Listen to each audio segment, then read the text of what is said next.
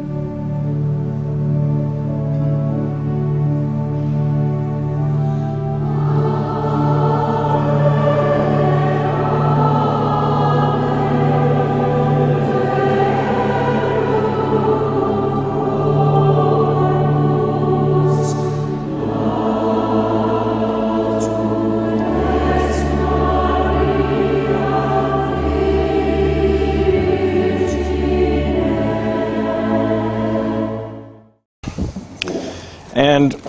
going to start with the, the basic understanding of maritime theory as it applied to European expansionism in the second half of the 19th century, uh, shortly before Tirpitz tried to, to build the, the okay, what we're going to be doing tonight is chapter 3 and 4 of, uh, uh, of our catechism. you just want to sort of crawl into a hole sometimes, don't you? I'm sorry.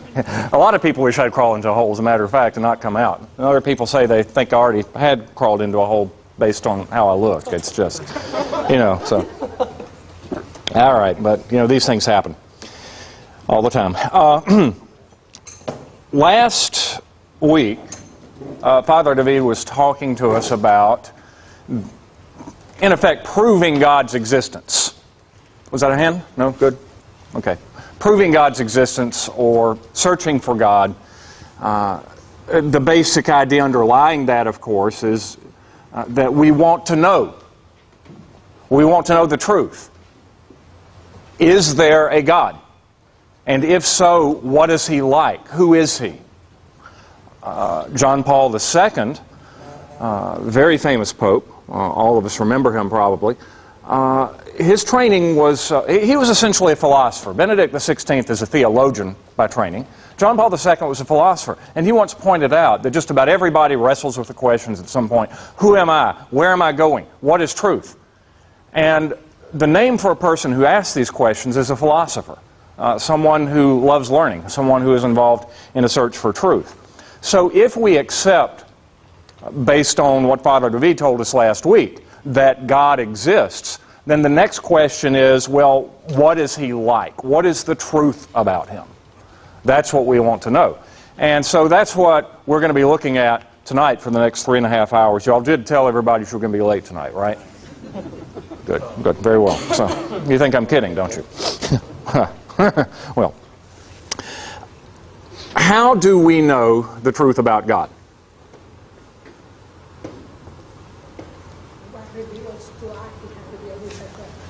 He reveals himself to us. Yes, there are actually a couple of different ways. There are two different complementary ways that we know about God. One is through natural human reason.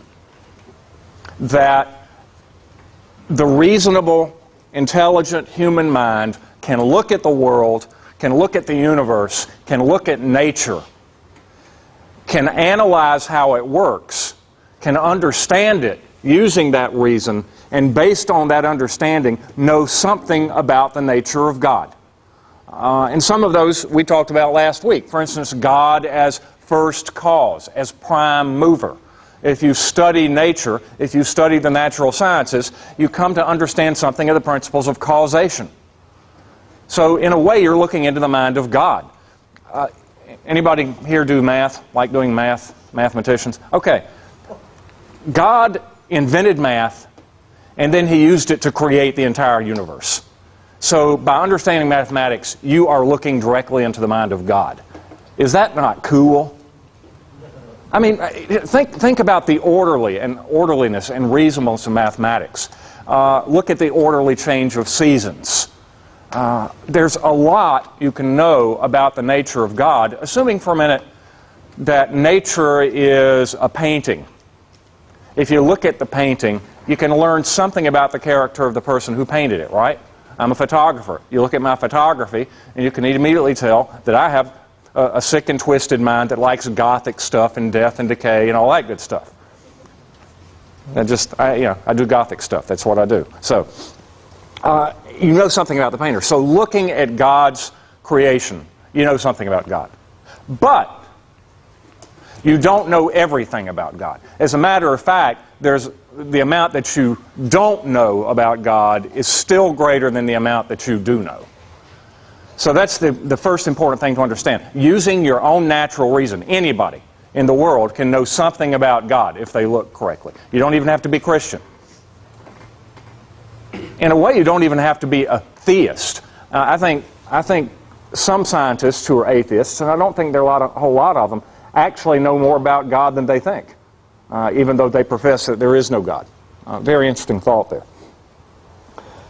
But beyond that point, we'll draw an arbitrary point. It's on the other side of my glass here. Reason can take us up to the glass. This much we can know about God through the, applying our own ability to think and analyze. But beyond that, our reason cannot take us. Therefore, if we're going to learn something about God, some of this truth that's on this side of the line, then the only way that we can learn it is if God Himself comes across this line and reveals some of these truths to us, to reveal truth about Himself, His nature, His purpose to us. That's the only way we can know this stuff. And there are actually, to my knowledge, three religions, and there may be more uh, in the world Judaism, Christianity, and Islam who take that essential view. These are what we call the Abrahamic religions because all three of them trace their origins back to Abraham. Now, they do it in different ways, and the relationship between them is, uh, is an interesting one. Uh, according to the Christian, Judaism is the first stage, Christianity is the second and final stage, and Islam is a misunderstanding. And yet, they all share this basic notion uh, that God reveals Himself to us. So, all these religions are based on revelation. That's not the book of Revelation, that's little r revelation. God stepping into history and revealing something about Himself to us. Um, and that Christians further hold that Christ is the fullest most complete, total revelation because He is God Himself. Uh, some of you can probably tell me a lot, to say a lot better than I uh, where this biblical passage appears in the Gospels, but if you've seen me, you've seen the Father. You're looking at Him. This is it. There's literally nothing left to reveal after this point because you're, you're seeing it all. He's right there in front of you. And so that's, you, you can't really imagine a fuller revelation than that if you're going to believe Christ. Uh, you, have all probably heard, or most of you have heard, the idea of Lord, liar, or lunatic. There are three options. Either Christ is who he said he is, and therefore we can trust everything he says, or he's a pathological liar, or he was a nutcase. There is no fourth option. This idea about, well, Jesus was, was just a man, but he was a good man. He was a great moral teacher. That's the last thing he was. I don't know any liars or people who have severe mental problems who are great moral teachers. So he's either who he said he was, he's a liar, he's a lunatic. He's not just a human being who's a great moral teacher. So if you, if you buy that Christ is who he said he is, then you also buy that he is the fullest and most complete revelation of God. The question arises how do we know the truth about Christ? Christ rises from the dead, he ascends into heaven, and suddenly he is, in a physical, corporeal sense, not there anymore. And almost immediately, almost immediately, questions start arising as to what Christ really taught. What did he really say? Because, you know, Christ did not, did not rent airtime on the nearest TV station. He didn't have a web page or a blog. All right, the, the means of mass communication were much more limited back then. And so there was a lot of hearsay. There was a lot of rumor. And, and so immediately questions came up about who was this person? What did he really teach? What did he really say? I've heard rumors, but, but tell me, what do I want to know? Now, let me ask you this. If you want to know the truth about somebody and that somebody isn't there, you can't go right to the horse's mouth, then who do you ask? Where do you go to find the truth? Why, why the, yeah, the people who were in a position to best observe what happened who knew him the best, who talked to it, who did get it from the horse's mouth, and these were uh, the disciples, uh, his closest followers, the people that he picked out and who followed him. So as questions arose, uh, these are the ones that uh, uh, that people sought out from the very very beginning. Well, what if they got it wrong? Well, that's an interesting question. You've got God, sovereign Lord and Master of the universe. I am who I am, who has come to earth in the flesh to tell us about himself. And yet he forgets to make a provision to make sure that other generations will get the same truth. It would seem logical to me that God, in the person of the Holy Spirit, who soon after Jesus' uh, ascension descended on the disciples and, and on the other believers, would make sure that when the disciples, who are now apostles, were talking about Jesus and explaining about Jesus and teaching about Jesus, that what they taught was correct. Uh, how many Protestant Christians do we have here? I know we're coming from a lot of different places. Okay, uh, you believe that the Scripture is infallible, right?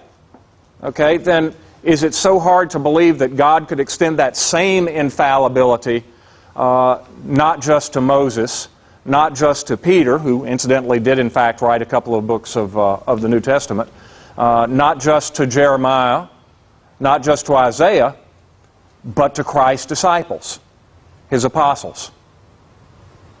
It's not all that far a stretch, is it? To make sure that when they preached, when they wrote things down, they wouldn't get it wrong there's really no other way to figure out that, you know, how you're going to get this accurate revelation of God otherwise. So the idea is that Christ anointed, ordained, chose uh, these disciples, but then they're going to die at some point, right? Well, as a matter of fact, Judas kind of died real early on. And he, in fact, was one of the disciples, right? So, in the book of Acts, what do they do about this? They're short a disciple. What do you do? Let's hold an election. We got to replace him. And they elected, they prayed, and they chose Matthias. I should have asked all that. Should have tested your biblical scriptural knowledge there. All right, well, what happens when Matthias dies? Or what happens when Peter gets crucified? Or the others uh, get martyred in various horrible ways? Well, it stands to reason they're going to do what they did in Judas's case. They're going to pick successors, right? Does anything I've said so far seem illogical? And that it would also stand to reason that these successors would have that same God given infallibility that the original disciples would. All right, this is what we call apostolic succession. I should have a board Teacher without chalk. It's a terrible thing. I don't need it. Sorry. Apostolic succession. They can write it down. They're smart. Yeah. Apostolic succession. That the apostles chose their successors. And these successors uh, we call in English bishops. Uh, the Greek word for it is episkopoi, uh, like episcopal. Uh, episkopoi, which in Greek essentially means overseers. Thank you. You see, I say it and it shows up. It's wonderful. It's great. It's, do I owe you anything, Vanna? Okay, thank goodness. No, I don't. You're out of luck. So thank you, Vanna. Okay.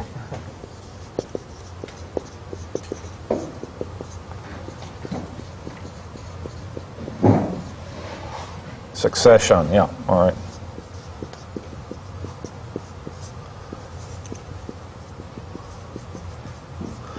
The disciples who become those who are sent i.e., apostles, who choose the bishops. I mean, in a manner of speaking, uh, you can see the apostles, the original 12, as the first bishops, but they are not, they're not normally referred to as that. Uh, but, but that's what they were. They were bishops, the overseers, the leader of the church, who then chose their successors, who then chose their successors, who then chose their successors generation after generation after generation, until here we have the Bishop of Savannah, who for right now, just for the next few days, is uh, Kevin Boland. Uh, we're about to get a new bishop uh, in this diocese uh, who can trace his office, if you will, straight back to the original disciples. Just in the exact same way that President Obama can trace his office back to George Washington, who can trace it back to the founders who wrote the Constitution. Are we making sense so far? And that when these bishops teach on matters of the faith, the Holy Spirit is not going to let them get it wrong. Very important. Uh, and the chief bishop, uh, the bishop in chief, the, the first among equals, was whom? Yeah, St. Peter. You're, you're a rock. On this rock, I'm going to build my church. I'm going to give you the keys to the kingdom. Uh, the gates of hell shall not prevail against it, uh, so on and so forth. Uh, so you would think that whoever was the successor of Peter would be the chief of the bishops, right? And Peter ended up going to and preaching in Rome, capital of the world at that point, right? So Peter was the bishop of Rome. So who is the bishop of Rome today? Benedict XVI more colloquially known as the Pope, the Papa, the Holy Father. Direct uh, apostolic descendant, not, not biological, of course, but apostolic descendant of St. Peter. Uh, all seems to hang together very nicely. Well, uh, why have all this stuff? I mean, why not just read it in the Bible? Well, this is where it gets interesting. Where is this revelation about Christ contained?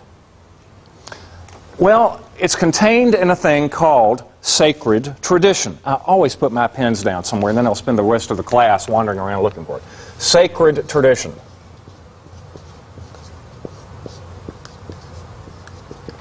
And I capitalize that. Capital S, capital T, especially the T. Well, wait a minute, what about the Bible? Well, newsflash.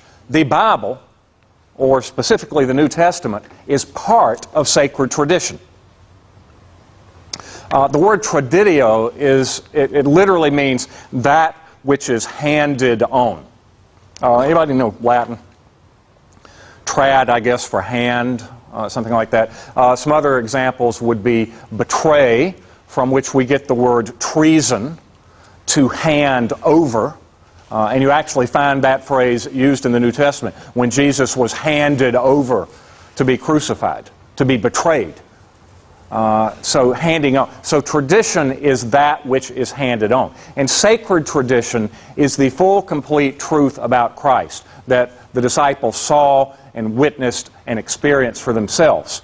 And that the Holy Spirit is going to preserve that tradition free of doctrinal error in the exact same way that Moses, a sinful human being, just like the rest of us, was preserved from error when he wrote portions of the Old Testament. When Isaiah was preserved from error, when he wrote a book of the Old Testament, even though he was a sinful man.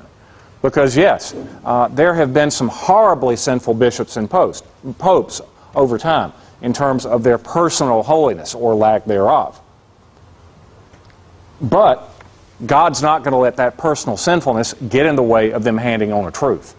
Uh, Uh, the way that I found most interesting, the, the thing that struck me as the strongest, my spiritual director once said, God loves His church so much and wants His people to have the truth that if somehow Satan incarnate were elected Pope, the Holy Spirit would prevent him from teaching error. Got to remember that, that this is not a tug of war between equals, God and Satan, struggling over things. God invented Satan, okay, and then Satan rebelled. But God's in charge of everything, including Satan himself. God's not going to let the church teach error because he wants you to have the truth too much. And he does this through the handing on of sacred tradition. Now, sacred tradition can be broken into a couple of, couple of parts. Uh, one, well, let me back up for a moment and talk about this word tradition. You need to understand tradition and you need to capitalize it because not all Catholic traditions are sacred tradition. There are a lot of Catholic traditions that we call little t traditions. For instance, it's a little t tradition to uh, I don't know, say a prayer called the Angelus at what? 6, noon, and 6? Sorry? Okay. That's not required. That's not a matter of doctrine. If you don't want to say the Angelus at 6, 12, and 6, you don't have to do it. That's a little t. All right? It is a little t, probably, Catholic tradition that, generally speaking, priests remain celibate. Little t tradition. Theoretically, that could be changed. In fact, I happen to know one or two married Catholic priests. It's highly unusual. There are only special circumstances when you find it. Uh, but that could be changed that, overnight. I don't think it's going to happen. I don't probably think it's a good idea that it happened. But I'm just giving you an idea that there are some little t traditions or disciplines that can change. Not everything is sacred tradition. But if it's sacred tradition, uh, that's, that's inviolate. That's the big boy. Uh, and there are a couple of, yes? Uh, could you give us a couple of examples before you move on, just so everybody's clear on what big T tradition and little T tradition are? Uh, yes, God exists. Uh, he exists in three persons. Uh, that one of those persons uh, took on human flesh uh, and took on human nature uh, and became our Savior. You know, these things are not, they're really not open to challenge. They've been established the Pope is not going to wake up tomorrow and say, no, it's actually a quadrinity, not a trinity. He's not going to say, oh, miscounted, there are only two of them, not three of them. One God, three persons, that's part of sacred tradition. Uh, you find sacred tradition in two forms. One is the written form, and the other is the unwritten form. They are both part and parcel of the same tradition. There is no conflict between them, there is no tension between them. They're both the same thing, just in different forms. The written part of sacred tradition we call sacred scripture, i.e., the Bible. But, as the Bible itself tells us at the conclusion of the Gospel of John, Jesus did a lot of other things that aren't written in here. And if we try to write them down, the whole world, I suppose, could not contain all these books. Nothing in the Bible says that all of God's revelation about Himself is written in the Bible. So there is a lot of unwritten sacred tradition as well. And this is something that, uh, this is a stumbling block that Protestants tend to have trouble with. Uh, because the Protestant tradition really got started at the same time that the printing press came to Europe and therefore Luther focused very heavily on the written word that a literate person, he claimed, could read and understand and interpret for himself. Uh, so sacred tradition is something that, that Protestants tend to have some, some trouble with. And that's one pointing out that if you're reading the Bible, you're reading sacred tradition. It's just that part that's written down. And what, what does an evangelical do when he wants to talk to somebody about maybe becoming a Christian or learning about Christianity? He does what? Like the Gideons at the fair. Hands him a Bible, right? Well, what do you do before there was a Bible? And when 90% of people couldn't read? Well, pictures, yes, but you know, not many good artists either. The point is, the Bible, the canon of Scripture, didn't come along until three or four hundred years into Christianity. That, therefore, something predated that, and that is this unwritten thing we call sacred tradition. Uh, we actually have something like that in this country. Uh, it's called the common law. Uh, those lawyers out there will understand this. That there is a whole lot of law out there that is not written down by Congress, that is not written down by the Georgia General Assembly. Uh, it's decided on a case by case basis by judges. Uh, even though it's not written down, it's still part of the law. And so I have found, in, in my experience when teaching the faith, that lawyers instinctively understand the concept of sacred tradition. Uh, they see the Bible as legislation, and they see unwritten sacred tradition as the common law. And they are both sor- legitimate sources of law that work together to give us the principles of our legal system. Uh, very interesting idea. So, for your idea that if something isn't written down, it can't be, well, you have been living your entire life in a society here that uh, expressly contradicts that idea, the common law system. Matter of fact, the common law, the phrase that is used in the United States and in England and in other countries in the British Isles, actually comes from the Catholic concept, uh, communio juris, juris. So it's a Catholic concept. All right. Um, but once again, this unwritten sacred tradition and this written sacred tradition, they cannot contradict each other because they are part of the same thing. I'll give you some ideas of, uh, of how this works. Um, some people say that, well, Pope, the Pope, you know, nothing about the Pope is found in Scripture. Well, in the first place, yes, but in the second place, it doesn't even really matter if, he, if there isn't. How many of you who, who thought that at some point or know somebody who thinks that uh, believe in the incarnation? I mean, do we believe in the incarnation? Do we believe in the Trinity? Well, incarnation, the word is not found in the Bible. Trinity is not found in the Bible. And yet we accept those. Uh, they're doctrines that are there. Sacred tradition just fleshes them out a little bit for us. Well, where does Scripture come into this? Uh, let, me, let me do a digression for a minute and talk a little bit more about Scripture's role in sacred tradition and the handing on of the truth about God before I get back into the, uh, to the unwritten stuff. Um, let me find my handout for you. I brought you all kind of neat and nifty stuff here. That's uh, my shopping list. Okay, well, you know, these things happen. Remind me to go to the store, somebody, when I get out of here? Okay. Uh, I meant to put uh, dividers in here and I didn't do it, so. There, got it. I have a lovely assistant here somewhere? Uh, no.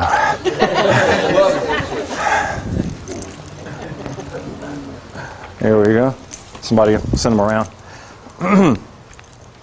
Let's talk about how Catholics read the Bible. What? Catholics read the Bible? Well, not as much as they should. Um, I like to joke whenever I see Bibles in the bookstore here that we need to get those things out. We're Catholics. We don't read the Bible. And yet we do. Uh, we need to know how to read it. And you probably know, too, if you did your catechism reading for this week. There are two basic ways to read Scripture. Uh, the first way, or the first sense, is the literal sense. The literal sense. Oh, that's interesting. And, well, uh, you, know, you, can read this for yourself. I'm not going to stand here and read this handout for you. Uh, but the literal sense is the most important sense. Uh, it's the most straightforward way, but it's not the only way. Then there's the spiritual sense. And this is where it gets interesting and it gets a little bit complex because there are three subheadings of spiritual sense. And you also have to keep in mind that you can read the same biblical passage in all four ways. It's not that uh, John chapter 1 verse 2 is the literal sense and John chapter 1 verse 3 is the anagogical sense. No. It's possible to take any section of the Bible and to read it in four different ways, at least theoretically. And so, as for an example, let's take Jerusalem and just look at the examples and see the different ways you can understand the Bible when somebody is talking about Jerusalem. And I will, uh, I will leave that to you. And it's important that I say I can leave that to you because a lot of people have this idea that uh, the Catholic Church, A, doesn't let its members read the Bible, and B, tells them what they must believe about every single syllable in it. You're going to find that as a Catholic, you have a great degree of latitude as to what to believe in many, many different things. There is no official uh, guide to interpreting the Bible. That the church does not see its job as running around being the thought police. And it's going to try very hard to let you reach your own interpretations and do your own readings. Uh, the problem comes that if somebody uh, reads something that is really wrong, and not just wrong, but it's wrong in a way that can mislead people on a very major point, that the church, usually moving with glacial speed, gradually creeps into the bait and listens and says, no, my son, that's not what the founders, what, the founders, I'm back to 1776 here, that's not what the church fathers could have meant. That's an error. That the magisterium, and I, I'll, the magisterium I'll explain in just a minute, but it's the interpreter of sacred tradition, functions as a guardrail. If you hold that idea, you are straying from the truth that God gave to Christ, that Christ gave to the church, that you may know Him and love Him better and serve Him better. So if you've got that idea, it's wrong. Now, that doesn't happen all that much. It does happen. There are a few examples of that, and I will uh, talk about it in a little bit, a little bit later. Uh, but, but that's what the church does, uh, that it needs to correct these things. Uh, and that's important because there are a lot of scripture passages that have different reasonable meanings. Uh, it is, I suppose, somewhat reasonable, it is plausible to say that when Christ, at, at, first glance at least, to say that when Christ said, This is my body, he was speaking symbolically. It, I will go so far as to say that at first glance there is some plausibility for that idea. Because Christ did, of course, use figures of speech. I am the vine, you are the branches. He used parables. So, I say again, with qualification, at first glance, you can say that, well, maybe he was speaking, uh, speaking metaphorically here. Uh, the very fact that there are different reasonable interpretations on their face of this statement requires there to be an authoritative interpreter to say, well, this one's the right interpretation, this one's the wrong one. Because depending on how you interpret that saying, this is my body, then what's up there in the tabernacle is either a piece of bread or it is God. And that's a pretty, that's a pretty basic problem, isn't it, to decide what is and what is not God. And so you have to have some authoritative interpreter whom you can trust to say, no, my son, the founders could not have meant it symbolically. And the reason they couldn't have, and then the, the church usually goes on to give reasons, often based heavily in Scripture. Uh, for instance, this is the new Passover. This is the new covenant. Let's go back to the old Passover, the old covenant. Uh, when the death angel was, was coming through the land of Egypt, what did you have to do to, in order to be protected from the death angel?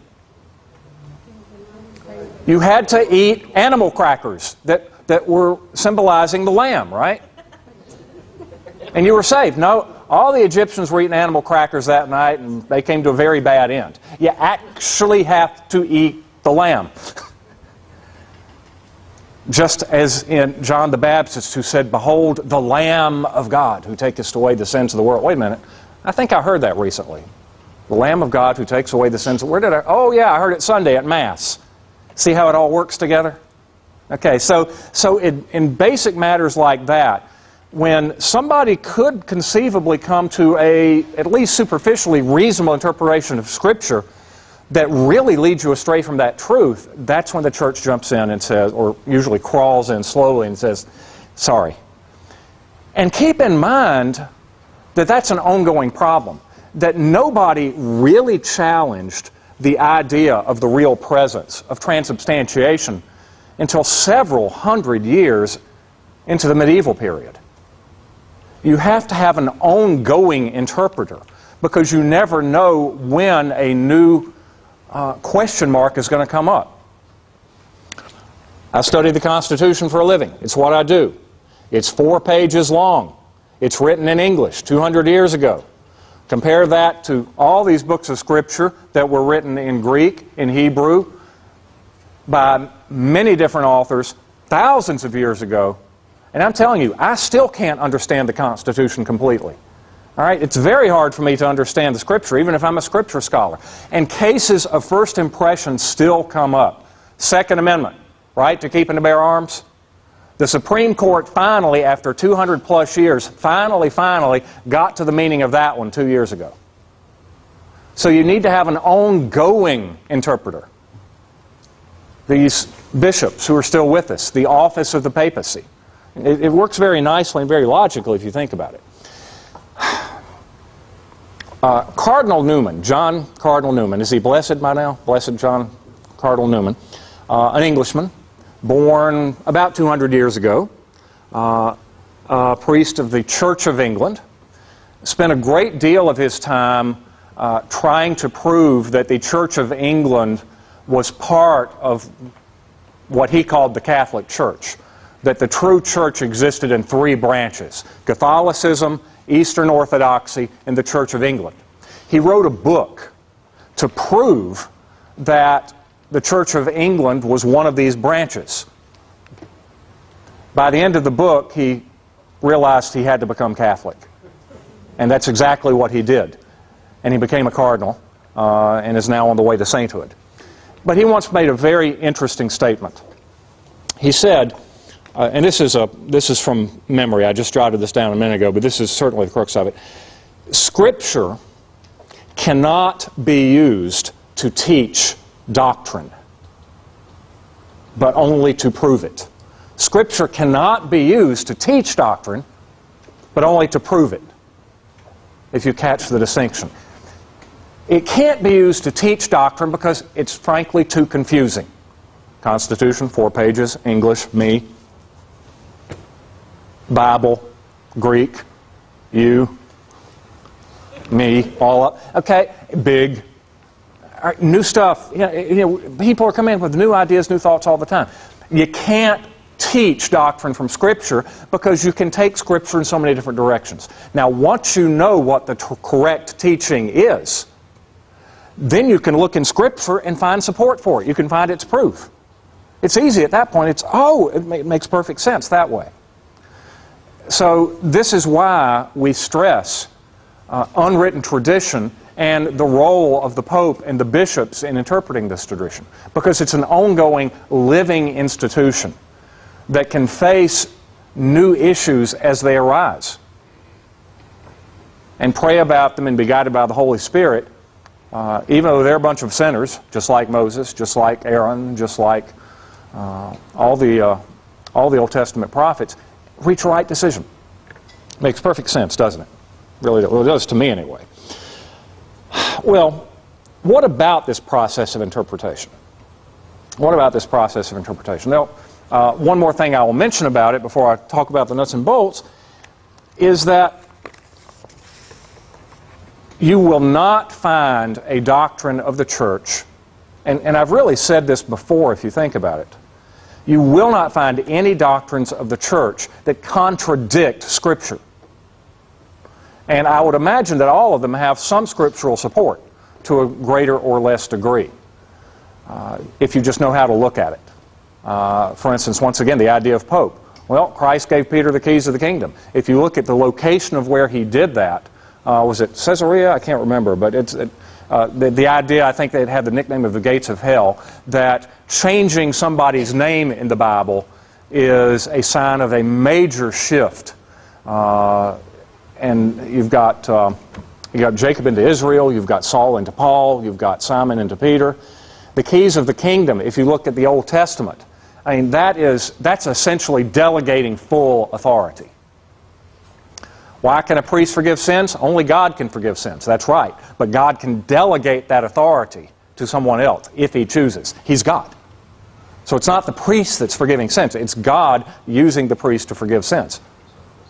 So you get these ideas. So, um, so it's in there. You can find scriptural basis for the papacy.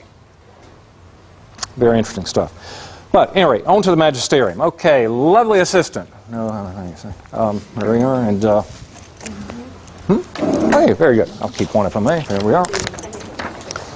Now, there's not going to be a test on this. You don't.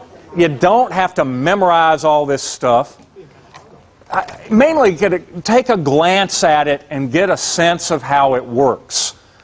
Two nights before Easter, we're not going to be sitting up here in a panel asking you for, to describe obsequium religiosum and, and who that belongs to on this chart. We're not going to do that.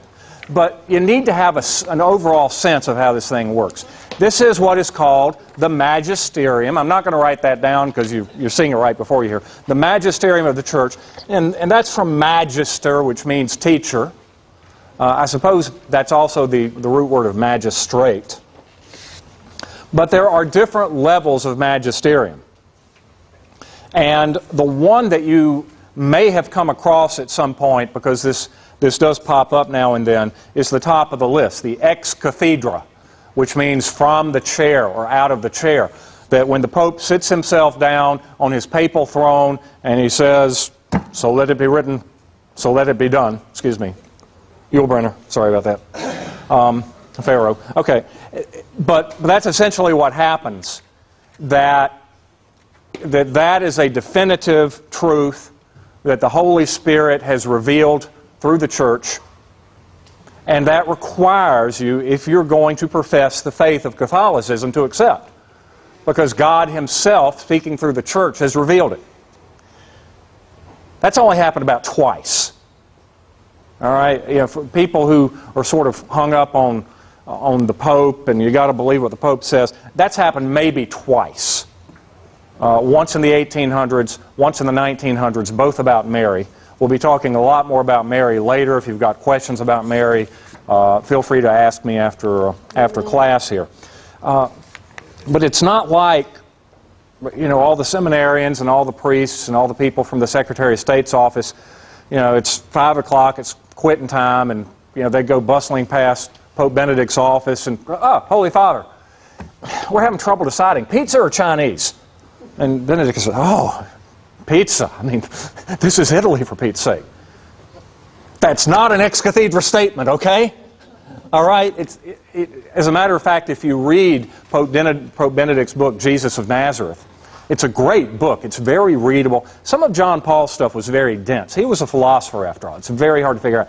But uh, but Pope Benedict was a teacher. Okay, he was a professor, he's a theologian, and he's marvelously clear and easy to read. And if you read his Jesus of Nazareth, in the preface he says, "I just want to point out, you know, it goes without saying, nothing in this book is part of the magisterium. All right, I'm not speaking from the chair here. You're free to accept it or not." So Pope does that very rarely. Uh, it's much more common for the bishops, which would include the Pope, of course, because he is a bishop, he is the Bishop of Rome, uh, to meet in council, a church council, an ecumenical council, and, uh, and issue a document, write a document, maybe even vote on the document the same way the apostles voted on Matthias, that that vote itself is divinely inspired, uh, and to issue a document that clarifies some teaching of the church, usually in response to a doubt that has arisen. Uh, and I'll talk more about these councils in a few minutes uh, because there have been a lot of them. Uh, then you have uh, the bishops and the pope who, just sort of in their day to day life and work and statements and ministries, uh, follow these norms some of which may never even get written down, just like the common law. And, and so you've got a hierarchy there. And you can see it. I think it's very interesting to note that theologians form no part of the magisterium. That's very interesting because you've got a whole bunch of crackpot theologians in any age, but especially this one, running around claiming to have discovered all this new stuff. Well, that's great, but they are not infallible. You don't have to pay attention to them. Uh, the church sometimes finds the work of theologians very useful. Uh, St. Thomas Aquinas, one of the greatest brains the Western world has produced in the last thousand years. Uh, the church has found his work very useful. Uh, and as a matter of fact, the church has found his greatest work, the Summa, to be without doctrinal error. I think that's the only book that the church has said that of uh, in recently. And by recently, I mean the last thousand years or so. Um, and also, at the very bottom of the list, you'll notice that priests do not form part of the magisterium. I think the Catholic Church is unique in that if you do get a fruity priest who is saying that, and I've, I've heard priests say this before, that the resurrection of Jesus wasn't real, uh, it, it wasn't physical, it was a metaphorical resurrection in our hearts.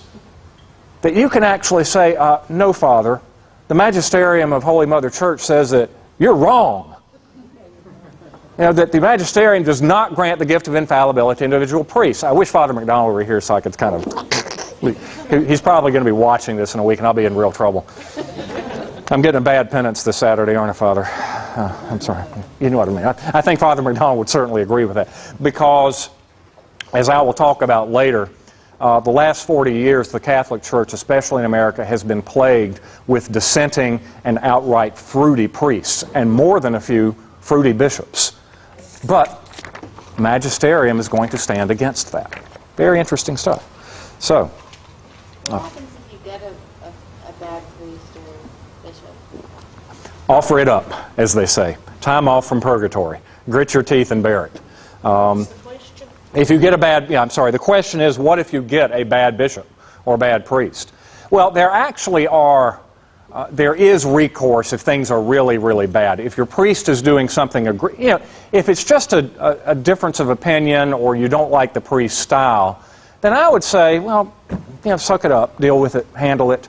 If the priest is doing something that is really egregious, uh, then you have not only the right but the duty to, to appeal to the bishop, make the bishop aware of what's going on. Oh, uh, yeah. Although firing, yeah, I wouldn't say firing is quite the right word because, but it's, um, it's, yeah, it's more of an or. That's the problem. I mean, sometimes I wish that it were a matter of firing, but the bishop has a, a pastoral, organic relationship with his flock, and it's not just a matter of saying, you know, hit the highway. I mean, that I, I, in the last few years, I wish it were done more readily and more easily than that. Um, Yes, because, because it is true that the bishops do not work for the Pope. Uh, the bishops hold their authority directly from Christ because Christ commissioned all the disciples uh, after his resurrection. Uh, so, so that does create for, for somewhat of a tension uh, that in some ways uh, the bishop need not respond to the Pope. But some bishops have taken that too far. Uh, Archbishop Rembert Weakland of the Archdiocese of Milwaukee several years ago, uh, a very radical bishop, and as it turned out, he was one of the ones implicated in, uh, in the sex abuse scandal. This did not come out until later. Uh, but he decided he was going to give the cathedral in Milwaukee a makeover. And he gutted it. He threw the statues out. He threw out these ancient objects d'art that, that were there, that were beautiful and gorgeous and, and heightened the experience of worship and glorified God. And he turned it into something that looks like the Colosseum. And this was reported to Pope John Paul. And John Paul actually wrote him and saying, Archbishop Weakland, you will stop this. And Weakland did not stop. You know, what do you do with something like that? So it happens. But we'll be talking a lot more about that uh, as we go. All right. Um, I've talked about the ex. Let's talk about church councils. How many of you have at least heard, you don't have to know what it means. How many of you have heard the phrase Vatican II? How many of you know what it means? That's my next question. Okay. Well, it was a church council. It was held from 1962 to 1965 in Vatican City. And it is unfortunate that I think the church today has, and I'm speaking as an historian, I'm speaking as somebody who appreciates the past, who sees us as dwarves on the shoulders of giants by whose grace we see farther than they. I believe that the church is overemphasizing the Second Vatican Council right now, simply because it is so recent. Uh, it is within living memory of a lot of people here and a lot of people in the church, and because it was such a big deal, and it was the first big ecumenical council held uh, in about 400 years, it, it's gotten a lot of traction. It's gotten a lot of press. And I'll give you as my example, if you look in, uh, in this book, uh, practically everything that is cited in it, uh, the table of abbreviations in front, practically everything is from a document of Vatican II. So this is the, the first point at which I want to warn you. Oh, lovely assistant, will you get me some more water? Yeah. Well, Because now you're on my favorite topic. well, now that you're closer, just Even lovelier. touche. All right. Um, there are, oh, how many councils? All, about 20 ecumenical councils. 22? I'm seeing 22 flashed. 21 uh, 21 ecumenical councils held, I'm going to give it 22, in the last 2,000 years. And that first council, that very first council, for people who don't like that, you know, for, for Protestants who love the Bible and who don't like this idea of church councils, that very first council took place in the book of Acts, the conference or council of Jerusalem. Does one have to become Jewish first before he becomes a Christian? The church had to meet. Paul had to meet with Peter to figure that one out. And they decided, no, you do not. So, in a sense, the Jerusalem Council was the very first council. So, there have been over 20 of these things. That, and these councils issue documents on major points of importance. Uh, was, was Jesus some sort of lesser God? Was he just a man? The Council of Nicaea was called to address this major crisis in the church. Thank you.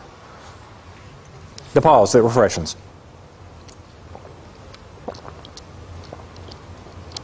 So, I want you to be aware that councils don't overrule each other, okay?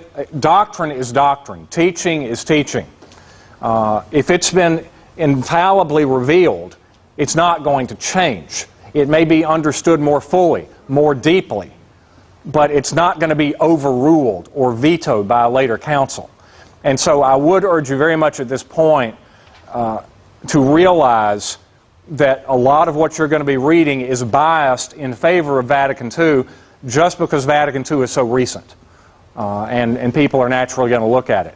But Vatican, Vatican II is no more or less important than all of the preceding 20 councils. And it's important for you to at least know they exist and that they have decided major, major questions. Uh, I'm going to I'm gonna stop for a minute and see if finally right, and ask do you have any questions about, uh, about anything so far? Like, is it too late to drop and become Eastern Orthodox? Or how did you get that ugly, Dr. Melton? Sick fascination.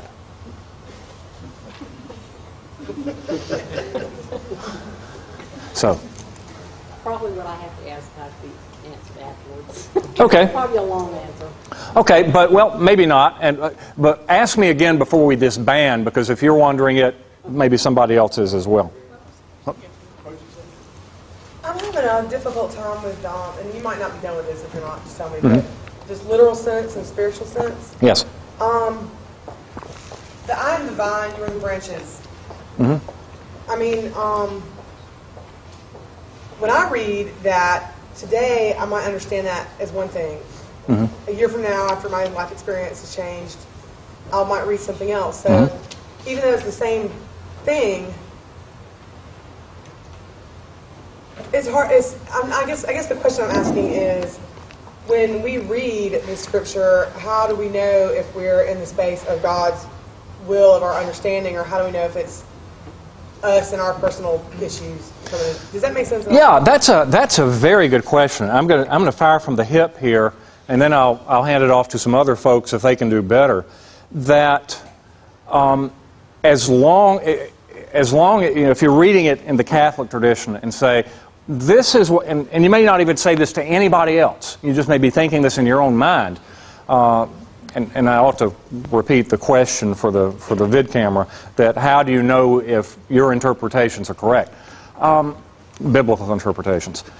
I would say that as long as you always read with the proviso that um, if you find a Catholic doctrine that says you're wrong, you will abandon your erroneous interpretation, uh, then, then you're fine. You're good. And so, is this the catechism? Is that doctrine? Is that? I mean, what is doctrine? Doctrine, uh, once again, doctrine uh, literally means teaching. Uh, from, for instance, doctor means teacher, which is why I'm angry at physicians for having stolen the title from teachers. Uh, it should be, you know, physician this or physician that. Doctors are teachers.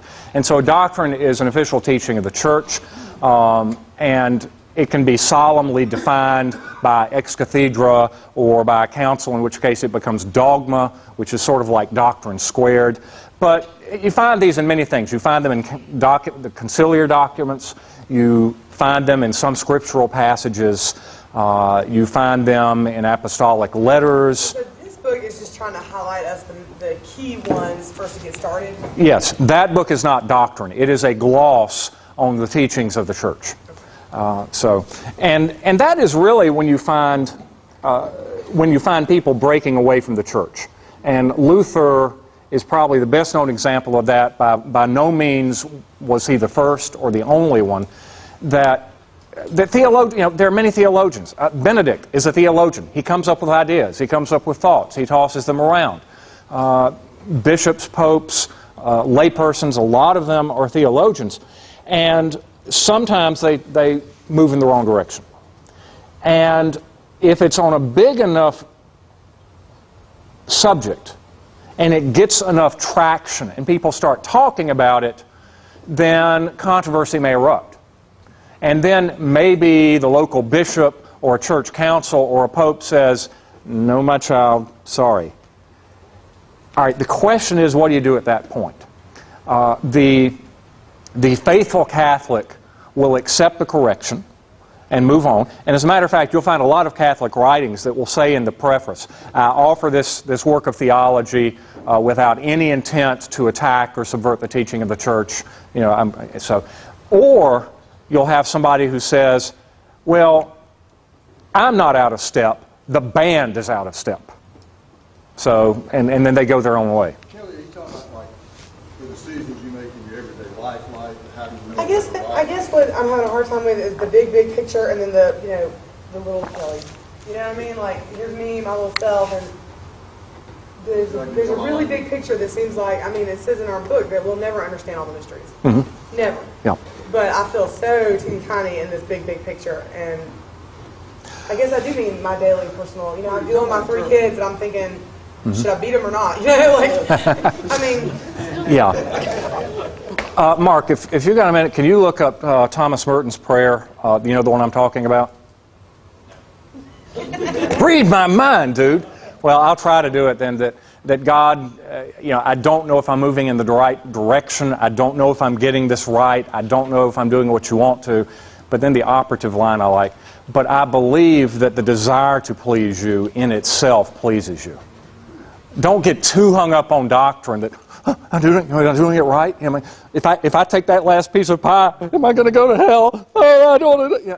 That's not what doctrine's supposed to do. It's not supposed to make you uptight. You want to jump in and help here? Well, it's just, if you talk about in terms of interpreting scripture, I, I always tell people, you know, first place looking at it, as long as it doesn't contradict something in the creeds, that's the first place to look. If you're talking about theology and how you read the Bible and how you want to interpret it yourself, so certainly the creeds are a guide for something like that. And if you're talking about day-to-day moral decisions, then that gets, you know, that's different. Yeah, and there there are a lot of ways around that too. But but yes, I, I would say as a first. you just said really, I think, nails it. For Does that me. help? Okay, good. When you say my desire to please, Yeah. kind of like you know God's will in my prayers. I sometimes try to ask for that, but I don't know how to know if my mind is working or Mm-hmm. you know. And I guess the desire to follow God's will Yeah. probably gives me a pretty good way. That's kind of yeah. It does. That gets you a long way. Lord, I believe, help thou my unbelief. Yes. The prayer of the man with the diamond. Very good. Very good. Um, yeah, that, you know, a lot of the big doctrinal issues you're probably not going to be facing day to day. Um, that, you know, just get through the best you can with the best of intentions. Um, that, remember, one of the first things I said is that there are a whole lot of things that the church says, go to it, believe what you want. Uh, G.K. Chesterton, who was one of the most famous converts of the 20th century, said, um, yes, uh, part of Catholicism uh, consists of very fine and well ordered grounds on the estate. But there's also plenty of room out there for hunting and fishing as well, if that's what you want to do. Um, if you want to go further than that, many Catholics have a spiritual director, somebody who is uh, well versed in Scripture and church tradition and can be a sounding board for any uh, personal issues you're having, personal troubles. Uh, if you have a regular confessor, he too can help out. God, oh, God loves me too, too much. God loves all his children. He would never send any of us to hell. He would never send me to hell. That's presuming on God's mercy. That's probably, if you believe that, that's probably the fastest way to get to hell. Okay? So those are the two extremes. Um, so you, you need to make sure. Hmm. There you go. So, um, uh, act, uh, been burned at the stake by one side or the other. Uh, so, you know, it's, it's a very touchy, very ugly term. But the basic root of it simply means wrong teaching. So let's just keep it at that level as a technical term. That the Catholic Church believes that the Baptists are heretics. That's okay. The Baptists believe that the Catholic Church are heretics. You know, let's let's just get it out. Well, We recognize Protestant baptism. Mm-hmm. Well, we'll, we'll, talk about that. There are, it certainly holds some heretical teachings. Um, but let's just say that this is a good faith disagreement so we can hop over the ugly connotations of that term and, and keep on going. That the very first heresy appeared almost immediately after Jesus' ascension. It was the heresy of Gnosticism. Uh, it was an Eastern idea. I don't want to get into too much, but the, the basic driving idea behind Gnosticism is that the material world was evil. And this actually began to infect the church. The church, if you will find in the later writings of the New Testament, was beginning to respond already to Gnosticism in those writings. The Gospel of John, for instance, uh, and the Word became flesh and dwelt among us. That, that line, a very important phrase in so many ways, was probably, among other things, written in direct response to Gnosticism. That God Himself took on flesh. Therefore, how can God be evil? How can, how can flesh be evil? Um, but the people who heard the truth as preached by John, some people still said, no, the band is out of step. And they turned away from it. People are going to be turning away from the Catholic Church at all stages of her existence. Uh, so, the, really, the only thing you have to profess to be a Catholic, uh, and this is the one thing, I would argue this is the only thing that differentiates Catholics from Protestants. There's only one difference. And y'all are probably going, oh, you nuts, you crazy? Have you. No, there's only one difference. That a Catholic believes that everything that has been revealed infallibly by the Holy Spirit, well, I phrase that wrong, that Catholic doctrine has been revealed infallibly by the Holy Spirit. That in teaching doctrine, in teaching the truth about God, which is where we came in tonight, the church cannot commit an error. God loves his people too much to let the church do that. And that Protestants believe that the church can, has, and does commit doctrinal errors. And the best statement of that you find Luther saying at the Diet of Worms unless I am convinced by Scripture or by right reason of the truth of something, then I'm not going to believe it. I'm not going to believe popes and councils because they have contradicted each other. This I believe. Here I stand. I can do no other. God help me. Amen. I would say Luther, well, first of all, it's very clear that Luther was scrupulous, but we won't go there. But second of all, and that's a terrible thing to have to deal with, I'm not slamming him for that. But the other thing is, interpretation's kind of complicated. Uh, ask a lawyer who interprets things for a living. Uh, so his statement that popes and councils have contradicted each other was definitely wrong. But interpretation is a tricky thing. So as long as you say, I accept what the church teaches, and you act on that to the best of your ability, that's all you have to believe. All the other beliefs will flow from that. Other questions? We have secret questions. We have secret questions. You want to answer these? You want me to answer? We'll find out what they are first. I've already read them. Oh, well, then you're going to give me the bad ones, aren't you? There's only two. Okay. You can do that one because you may not know the readings for the day. In today's readings, why did Jesus pray so hard?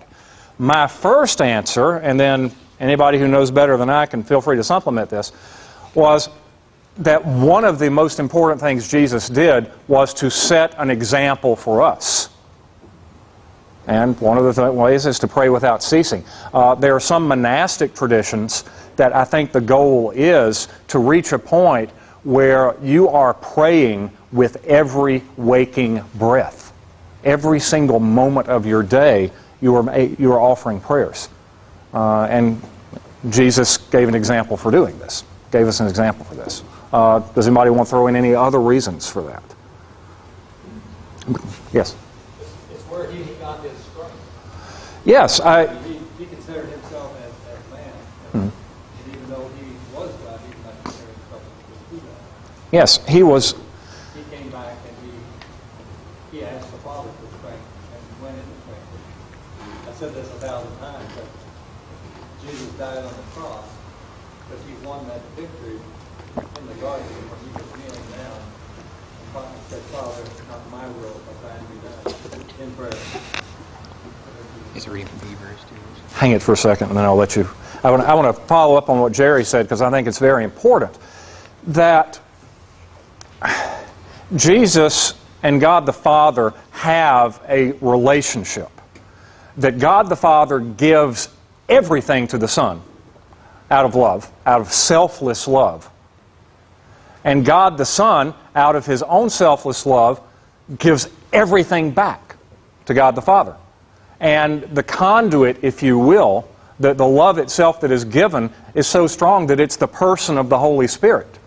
And so this is, this is how Jesus partakes in the Godhead, in the Trinity. Uh, that Jesus is, and this is one of the great mysteries of the faith, 100% human being. He's not a hologram, he's not a spectral image. Uh, he's 100% human being, and at the same time, he is 100% completely God. Now, what is 100% of something plus 100% of something? Normally, it would be 200% of something. But in the mathematics of the Godhead, no. This is the thing. Is he God or is he man? Yes. He's not half God and half man. He's not God pretending to be man. He's not a man who has somehow been adopted by God. He is a God who is man. Don't try to get your head around it. And that prayer, I think, is, is part of that connection that he's got with the rest of the Trinity. Uh, all right. Will you read it for me? Sure. So the reading is from Hebrews, which I think is important in order to understand uh, the importance of it.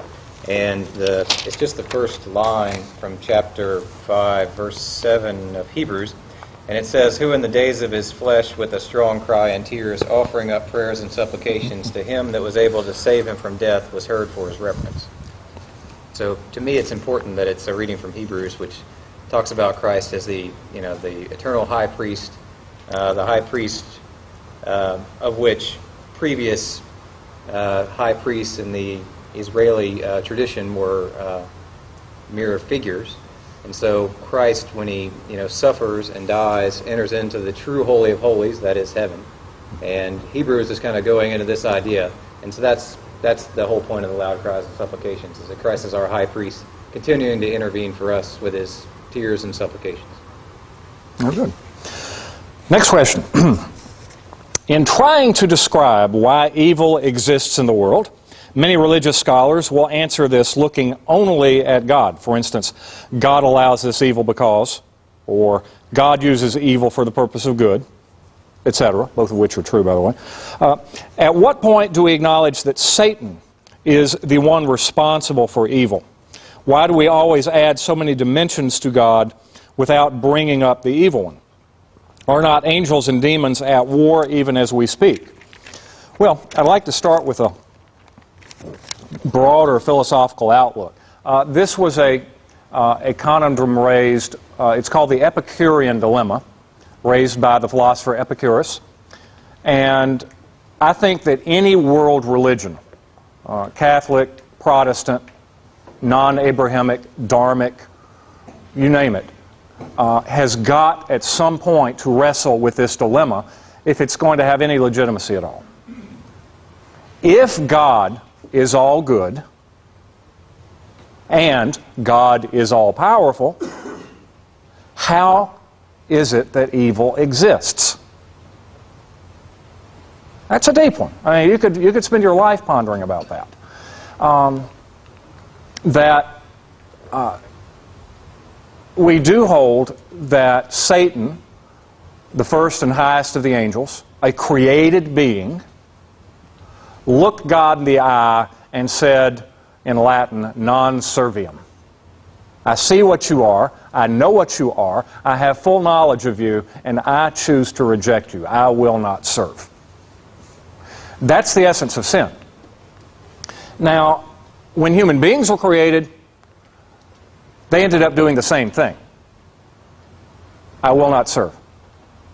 I mean, what part of don't eat that didn't they get? Now, it was true that they were tempted by the serpent. And by the way, serpent is a, is a very pale uh, sort of translation of it. Uh, dragon would probably be a better one. You know, not some little hissing, you know, you know very formidable. Uh, that if you think about Satan's nature, if you think about the, the nature of an angel, uh, this is probably the most powerful created being in the universe. And you know, the, the likelihood of a human being to stand up against him, not so much. Not so good. That being said, you don't want to go too far in the other direction. You remember, anybody here remember Flip Wilson? Anybody here young enough, old enough to remember Flip Wilson? What was, his, what was Geraldine's throwaway line? The devil made me do it. You know, he always do something bad. The devil made me do it. This is important to understand. Satan cannot make you do anything. You have free will. Now, due to original sin, you are going to be drawn to the evil. But nobody's going to make you do it. That's, I, that's the whole nature of free will.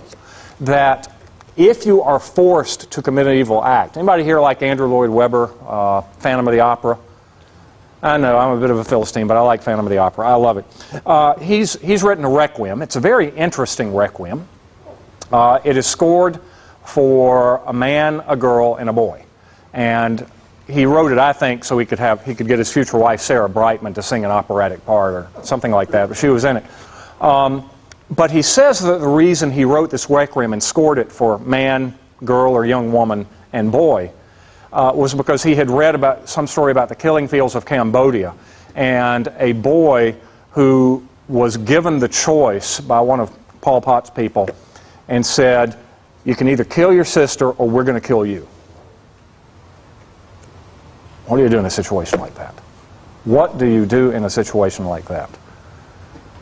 Uh, was he being made to kill his sister? You start understanding. Okay, well, what about this? Let me make it an even easier one. Any, any sleepwalkers in here? I used to sleepwalk. Okay.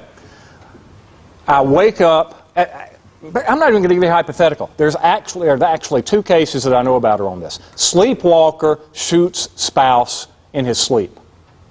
Now, assuming, assuming that we prove beyond a shadow of a doubt, we really accept that it was sleepwalking, was he guilty of anything? No. Okay? So I push you, you fall against somebody, that somebody falls down and breaks his head. Are you, are you guilty? Or am I? See this whole issue of free will. You know, if, if you choose it, if you freely choose it, then it's a sin. If you don't, it's not a sin. But there are lots of things out in the world, and by world I mean this whole creation, the universe, whatever, Satan, the other fallen angels, who are going to make the wrong thing very, very tempting for you. You will find that climbing uphill is very hard. Sliding down into the muck is very easy. Okay? I don't know if I'm answering the question well enough. Um, but yes, Catholicism holds that there are these invisible created beings, legions of them. Some of them are faithful to God, some of them are not. And those who are not are frankly after you. Read the Screwtape Letters if you really want to get chilled. It is terrifying. Yes? Was the question, was the question just talking about the problem of evil and why does it exist? No, it was more why do we not hear more about Satan than we do. Uh, and we do need to keep that in mind. Uh, once again, the modern era, uh, you know, it's, it's somehow seen as not cool to talk about Satan. Uh, but it is a matter of doctrine that Satan and fallen angels exist. They have a hierarchy too. Mm-hmm. Yeah. In the reverse of heaven. So, what, another was there a question? I was just going to say that when I think about it, I have to focus in on the free will part, Mhm. um, and that's where you can reconcile God is all good, God is all powerful, Mhm. yet evil still exists Mhm. in the universe because God created free will. Yeah. Why would He create free will? Um, Well, in humans, I think specifically because he created us in his own likeness, so that he would love us, and we voluntarily, through our own volition, would, in return, in mimicking the Father's relationship to the Son, love him completely through our own free will, and thus, but also thus allowing the possibility of evil and sin to enter into. Mm-hmm. Is there a difference between a lover and a rapist? If God took away our free will, thus forcing us to love Him, what does anybody get out of that? But if God sets us free, and like a lover hopes that we will love Him back, and the only way that works is if we're free not to love Him. Do you see the difference in those two images? You know, we also talk about God's perfect and permissive will, Yes. such that He being perfect created us with free will, because that was a part of His perfection, to create a creature that was free and capable of making decisions on their own. And by the same token, His will is permissive. It allows us, if, if we choose, to make mistakes and commit sin. So, you know, it's complex, but if God is a perfect being, then it was more perfect. it was more perfect for him to create a free creature than it would have been for him to create a creature that was not free, but that would act perfectly in every way. Hmm. So That's deep. it's complicated theological issue. Yes. But The that- perfect that's will an part. Important part of understanding the problem of evil. God doesn't create evil. It's really not completely correct to say he allows it, but he does. Mhm, yes. Through us. So- so- Let me read the scripture just for a Okay. Well, this is out of uh, James, first chapter, uh, you look at 13th verse. Let no man say when he is tempted that he is tempted by God, for God is no tempter to evil, and he himself tempts no one. But everyone is tempted by being drawn away and enticed by his own passion. So he has free will, he can be tempted by the devil. Uh, but that free will choice is for him to do. And God is the protector of our faith. He himself is our protector. He is our shield. It's part of the uh, uh, armor of God that he gives us. Without God, you can do nothing. I'm going to make one quick final comment on that, and then we'll quit because it's 8:30. Uh, has anybody here read the book, The Exorcist? Not not seen the movie, but the book. It's it's a it is an it was written around 1970, I think, and it was a great commentary on the state of the church in America in 1970, and to a degree still today. Uh, you've got this hip, young, groovy Jesuit priest who teaches at Georgetown. And this woman approaches him and says, You know, I think best.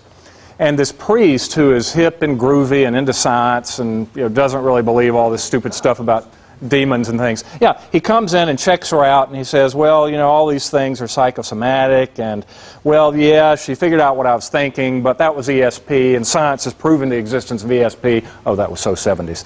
And, you know, he keeps on rationalizing this stuff away until finally these words rise up on her skin saying, Help me. And his eyes bug out, and at that point he realizes he's out of his depth. And they call in another priest, and you, you really don't get this in the movie. This, the movie fumbles this horribly. But when the mother opens the door to this new priest, uh, and he's not new, he's, a, he's an elderly priest, uh, he's old fashioned, he believes in things like Satan.